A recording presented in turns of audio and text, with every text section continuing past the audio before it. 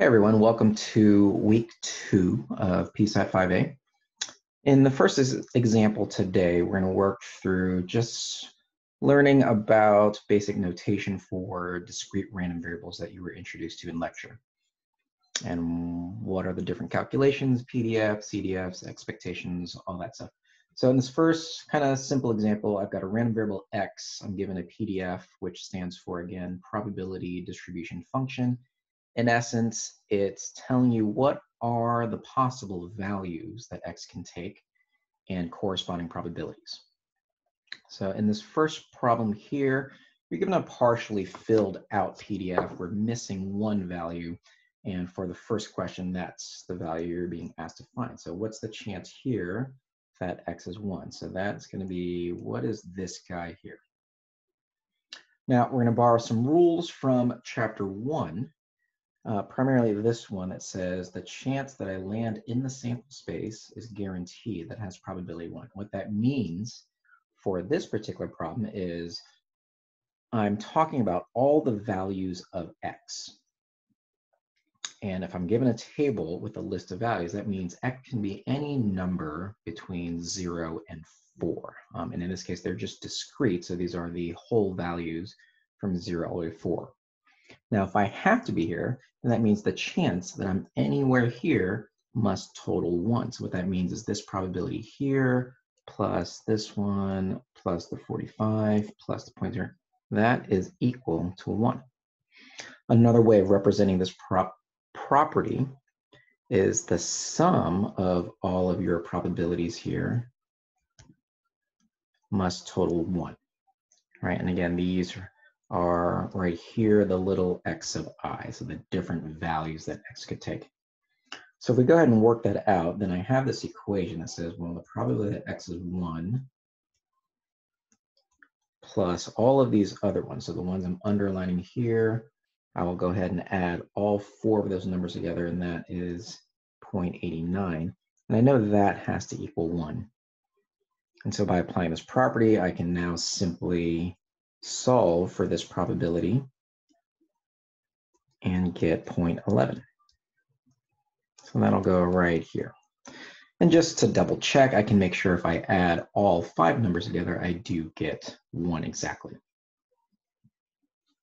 Now, for the second part here, it's a little weirder, but again, what I want to do is I want to find the conditions that satisfy this particular event. So I have the event that says numbers between 0.73 and 3. Another way of looking at that is I want to find all x's larger than 0.73 and at the same time smaller than 3. So if I go through my PDF and look, well, what are the x's that satisfies this condition? Let me go ahead and change colors here. I'm going to outline this in green. I want, again, two things, larger than 0.73, smaller than 3. So I see these are the two values here that satisfies this condition. So to find those probabilities, x can be either one of those. Another way of writing that is, well, this is just the chance that x is either 1 or the chance x is 2. And then using my addition rule from chapter 1, this ends up being the 0.11 plus the 0.31, or now finally I get 0.42. And that's the first part. All right, so for the second part, you are asked to calculate expectation of x. So E of x is notation here. Now recall, this has a Greek letter associated with it, which is the lowercase m called mu. And it's just a fancy way of saying, well, what's the average of x? So I know that x can take any of these values here, 0, 1, 2, 3, 4, and I know they're not equally likely because I have these different probabilities here. So what I want to do is I'm going to weigh all of that together and see, okay, well, if I had to pick one value for me to expect, what would I see? And just intuitively, if I look at my table, I see that these are the highest probabilities. So it's probably going to be somewhere close to that. Okay, but luckily, again, I have a rule and a formula. So the formula we're going to use for expectation for discrete random variables looks like this. It's going to be the sum of all of these individual x's times their corresponding probabilities. So in other words, what I will do is I'll take each x value, multiply it by its corresponding probability, and then sum that for the entire table. So then I have a line that will now look like this. I'm going to use the point 0.11 we got from the previous part. And then 2 times 0.31. Add that to 3 times 0.45. Finally, add that to 4 times 0.08. And you can see the line here that we have is simply just this formula that I am plugging numbers into. So finally, the notation, if I do all my calculations, is this again the Greek letter mu. The average of x is going to be this entire line here. And if I worked it out correctly, this is 2.4, which kind of fits our intuition earlier of saying that the highest values were 2 and 3. So it's somewhere in between there. And so this kind of makes sense. All right, so for the final part of this example on random variables, we're looking at the differences between PDF and CDF. So again, for this problem, we were given a PDF. We had to figure out a missing value. And then now you're asked to find a CDF. So if you recall, here's the big difference for the CDF, this part right here. So by definition, the CDF, which represents the cumulative distribution function, is going to be all of the probabilities less than or equal to x as compared to, so versus here, your PDF, which is the probability distribution function, and that only shows you probabilities at individual values of x.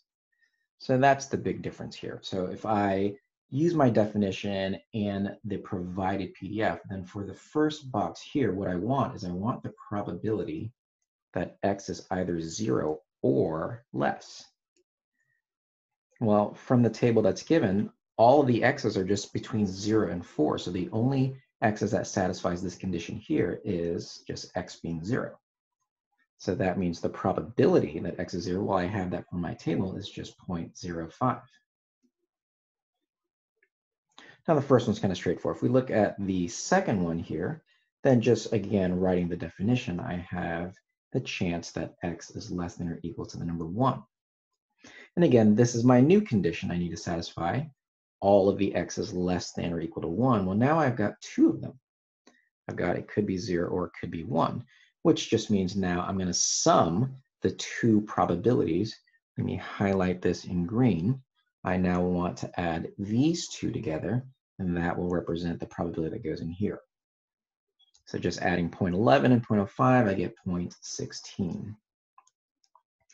And then this continues by adding all the values over and over and over again. So if I finish this, then the next value right here for less than or equal to 2 will be all of the probabilities 2 or less. So now I'm going to add the first three probabilities from my PDF table.